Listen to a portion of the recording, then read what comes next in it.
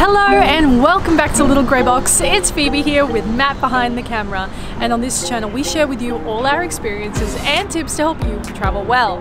Today's episode we are in Australia in sunny Queensland in our beautiful hometown of Brisbane because we are going to be showing you some of the very best budget friendly things to see, do and eat.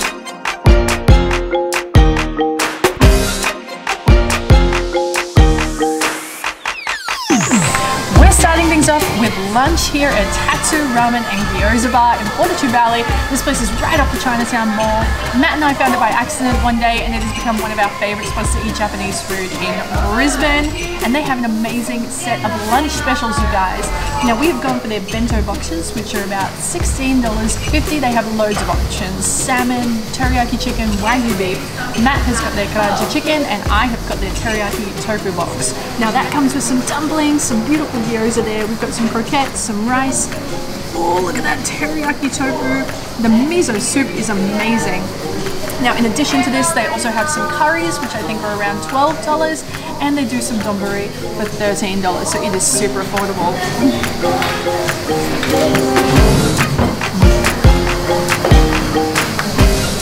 That's really, really good. Very familiar with all the really cool laneways here in Fortitude Valley, but if you are visiting from interstate or overseas, make sure you come down and check them out. You've got Bakery, Winn, Lucky and California Lane. It is of course free to wander around and check them out. If something does take your fancy, you can duck in, maybe grab a bite to eat, take advantage of some awesome lunch specials, or definitely try and check out the Valley Laneway markets, which go down on certain Saturdays of the month couple of other really great affordable spots to eat. A lot of the fries, they have so many vegan options. In fact, I think their whole menu is plant-based and everything's really affordable. And Fat Dumpling behind me, if you love dumplings, they have some amazing affordable lunchtime specials yeah, so that will fulfill your tummy without draining your budget. For a free dose of culture, you want to come here to the Judith Wright Arts Centre. Now they have a whole range of rotating free exhibitions and we have popped in and we're going to have a little wander around at what they've got going today.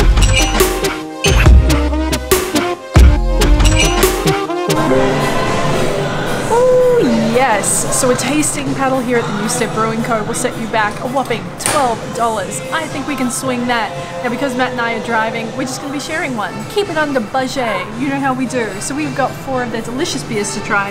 We've steered clear of the ones that we know and love, like the three quarter time, which is really, really delicious. And we've gone for this gorgeous selection. So I'm going to start here. This one is a sour. Um, I've developed a love for sours after the awesome brewery tour we did on the Gold Coast. Oh yes. Oh, that smells really fresh. Oh, that is tart. For a little bit of budget-friendly shopping, we're coming here to the Salvation Army stores. This one's on the corner of Pro and Doggett Street. I've never been here. That's a really great thrift store, definitely worth checking out. And there are loads more dotted around Brisbane and through Paddington and areas like that. So just jump online, do a search, and you'll be spoilt for choice.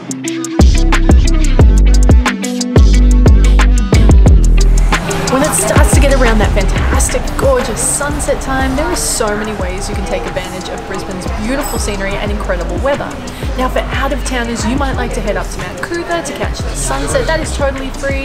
You could take a walk around the Brisbane River area in places like South Bank, or of course you could head up to the Kangaroo Point Cliffs, which is an amazing spot to catch the sunset. But as locals, we have done that kind of stuff to death, so we want to do something a little bit different. So we have come here to Hai Hai Ramen to take full advantage of their $10 ramen hour of power, Monday and Tuesdays from 4.30 to 5.30.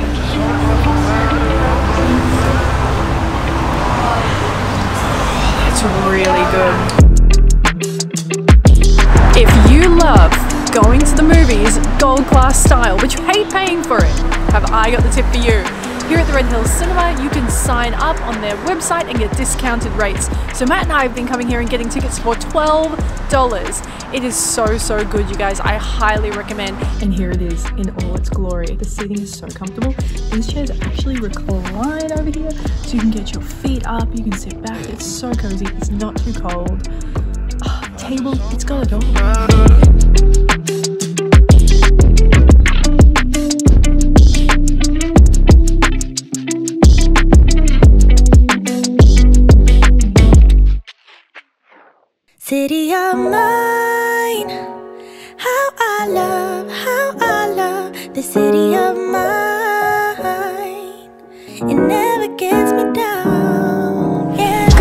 all. you guys. Now for a budget-friendly breakfast here in Brisbane, you want to come to Brown Dog Cafe in Woolloongabba. Now, this place has been around for ages. Matt and I have been coming here for years and years and years. It's had a makeover, the menu's been updated, but the things that we've always loved about it are still the same. That is great coffee and great food that's really well priced. Lots of cool artwork like you can see behind me, and we just love it here. And the food looks amazing, so I've just gone for their smash ava this morning. The coffee is great.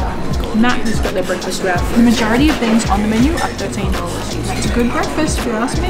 Rich goof off and spend the whole damn day doing whatever we want.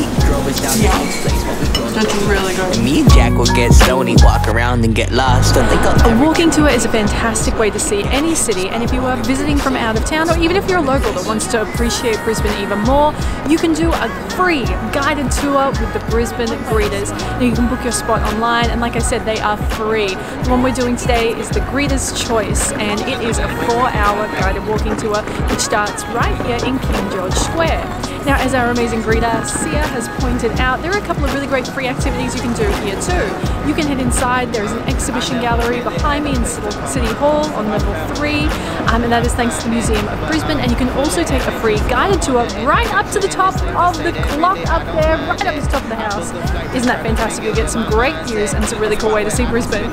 Wait, they're leaving without us! I mix and mingle with the people till I learn a little. These are done by a local artist known as the Blue Ninja, and as the, the name would suggest, the Blue Ninja is called the Phantom. Uh, nobody, or very few people, know who he is. In a sense, he's Brisbane's Banksy, and his calling card is these awesome blue pieces that you see, and you should definitely keep your eyes peeled if you are wandering around. We saw some yesterday in the Fortitude Valley laneways, just these little blue pieces that appear all over the place, so keep your eyes peeled for them. They are famous, and they are very special to see. It's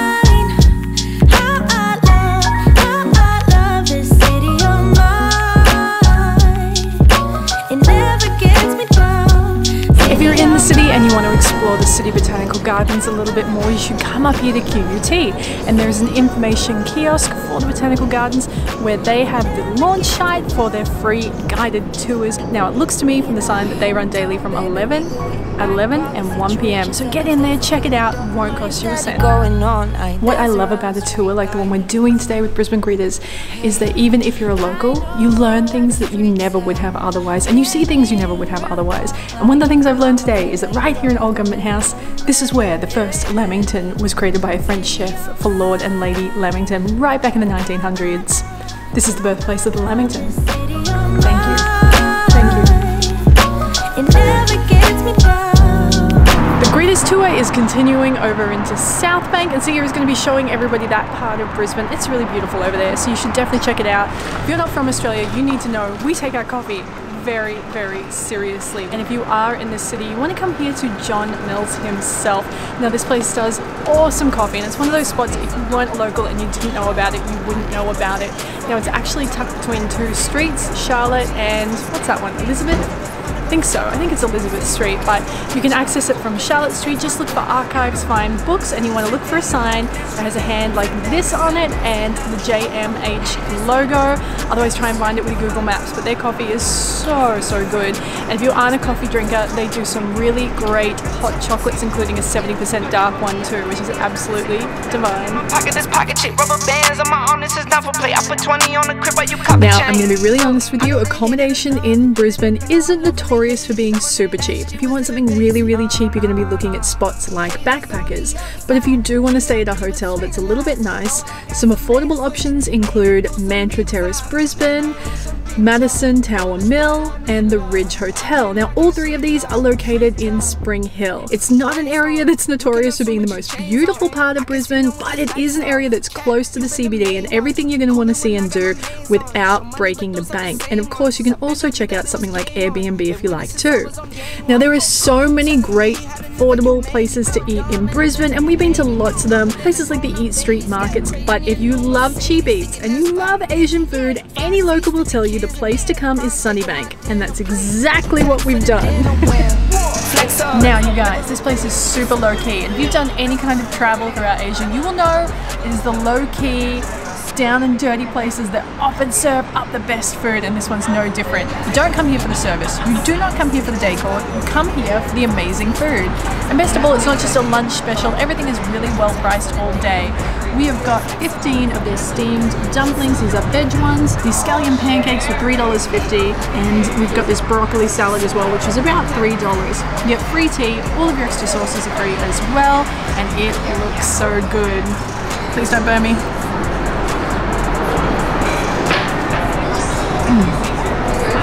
They are so, so tasty. Now, you guys, you don't just have to come here to Golden Dumpling.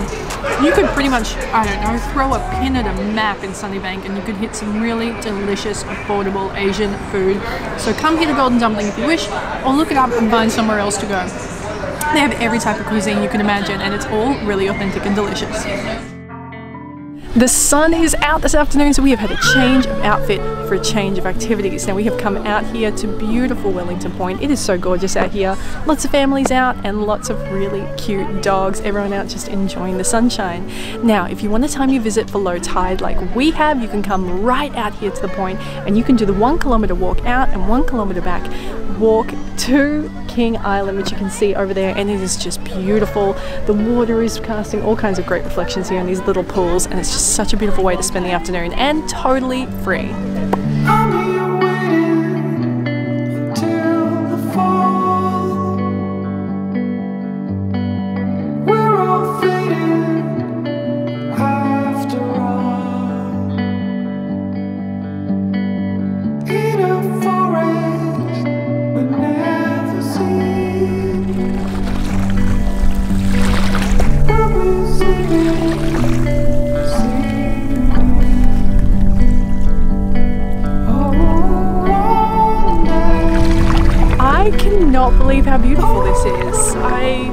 All the time I've lived in Brisbane, I've known about Wellington Point, but I didn't know you could do this walk, and it is so beautiful. Honestly, this is a really great experience and something I will be coming back and doing again a lot.